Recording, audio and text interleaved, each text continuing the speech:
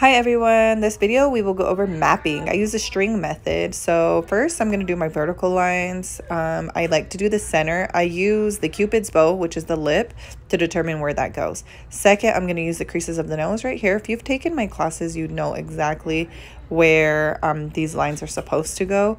Um, but then I'm going to create these lines. You can see these two vertical lines. There's one line that's way thicker and one that's thinner um, if that makes sense. So I'm going to put it more in the center. That means it was just off. So these lines need to have like an even amount of gap. Also, um, they are going to be all parallel from each other. So I don't want to make sure that it's not thicker on one side than the other. Then I'm going to use the nose and I'm going to use the corner of the eyes. This determines how long the eyebrow is going to be. Some people have bigger eyes, so they're going to have longer eyebrows. Some people have littler eyes, so their eyebrows might be a little bit shorter. Um, and I kind of use their natural eyebrow also to determine where the line is supposed to end. Here is where I um, determine where the arches are going to start. So this is means where the eyebrow is going to start bending. So the eyebrow starts going up and then it starts going down the arch. I generally use their eye and again where their natural eyebrow starts. Um, sometimes if people have a wider face, I want that part to be wider. If they have a more narrow face, I'll probably bring it a little closer. Then I use my measuring tool to make sure it's the same on each side. Very, very important that everything is symmetrical. So I will go ahead and mark with my string here also. And you want to make sure that your string work is really clean, crisp, and erase any other lines that are mistakes because later down the road, I promise it will confuse you. This is the part where we're going to measure and make sure the front of the brow equals the same and the tail of the brow equals the same. If it doesn't, go ahead and adjust. We're going to go ahead and start with our horizontal lines. I usually like to do this sitting up, but for the video, I did it laying down.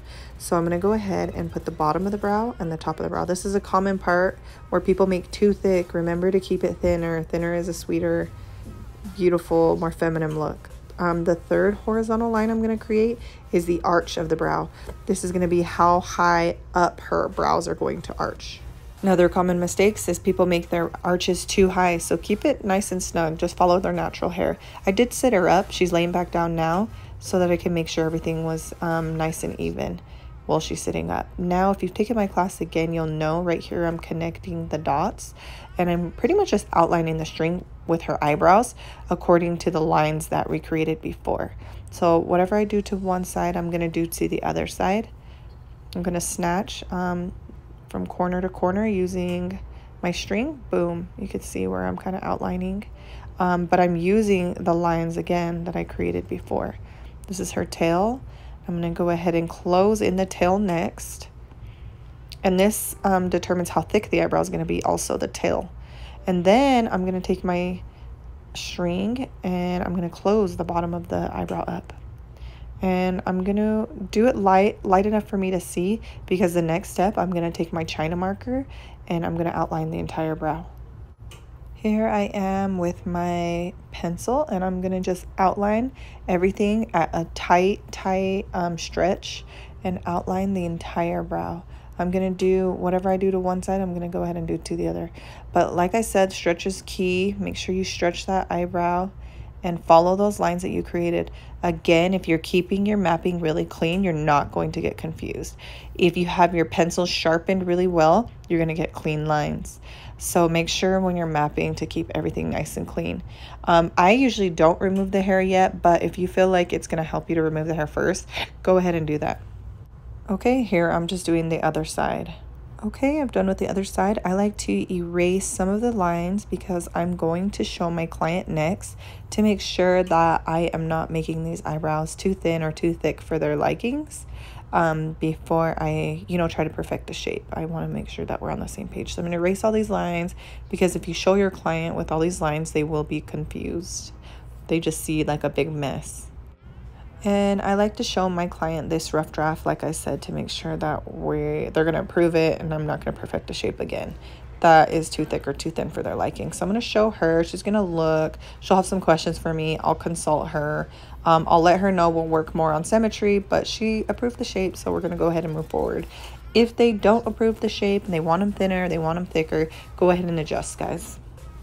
On this step, now that they approve the shape, I am going to go ahead and remove the hair outside of the shape.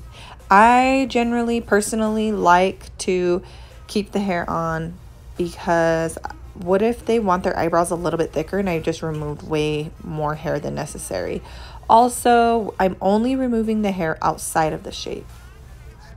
I'm also going to take my little scissors and groom where need to be.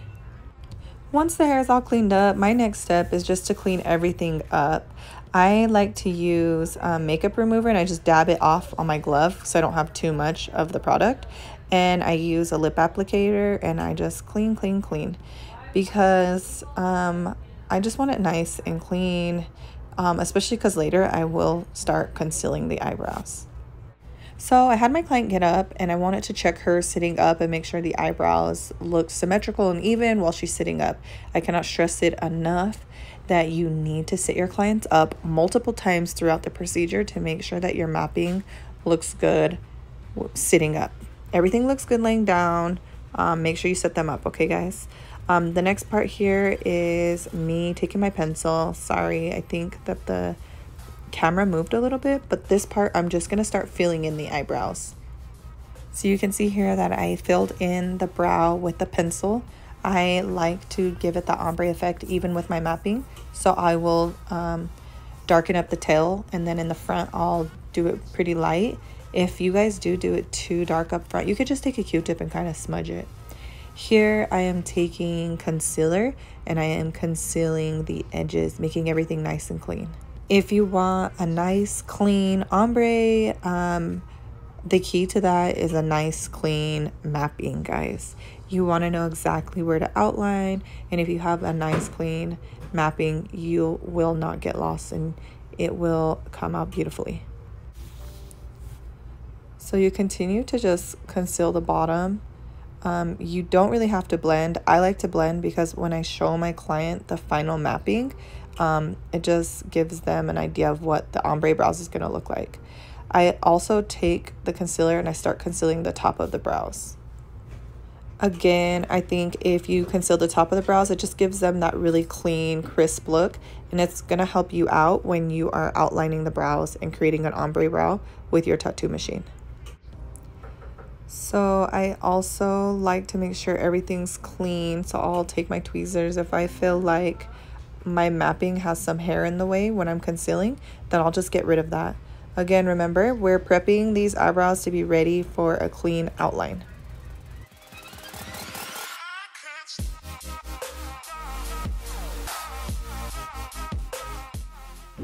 So whatever I do on one eyebrow, I'm going to go ahead and repeat on the other eyebrow. I will go ahead and fill in this brow and make sure I cleanly conceal everything up. Again, even after mapping and doing the concealing and stuff, just um, make sure to sit your client up to make sure everything looks nice and symmetrical. Okay, so here are the results. I'm going to go ahead and show you guys the results of her mapping. She approved, I approved, so I'm going to go ahead and start tattooing. This is the tattooing results. Go ahead and follow and comment if you guys have any questions or want any other videos.